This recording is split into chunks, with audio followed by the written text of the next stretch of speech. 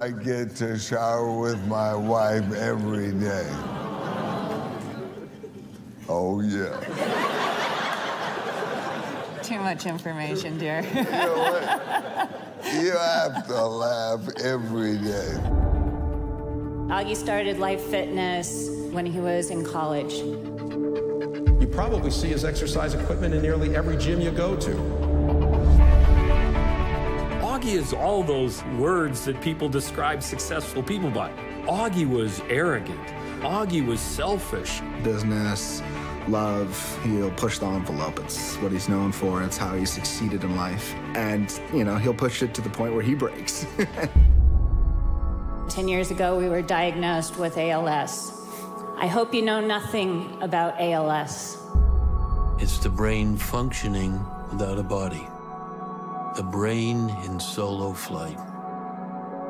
Everything was thought about in terms of when Augie dies. He tried to commit suicide. If he wanted to die, I understood it. Until you come to peace with the fact that you weren't designed to experience it all, and whatever peace you do get to experience, that's your gift. I'm gonna beat this son of a bitch.